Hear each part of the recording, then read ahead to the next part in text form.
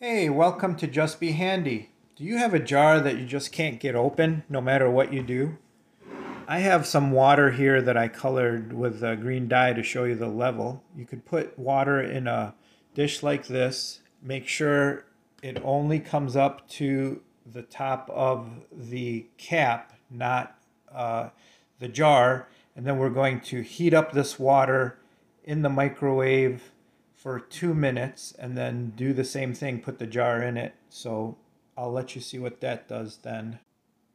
All right, guys, now you can see that the water is around 180 degrees and I've got the jar in there. Now leave it in there for about a minute and then you're going to take it out and then the metal is going to have expanded. The glass will stay cool and then the cap will come off and I'll show you what that looks like.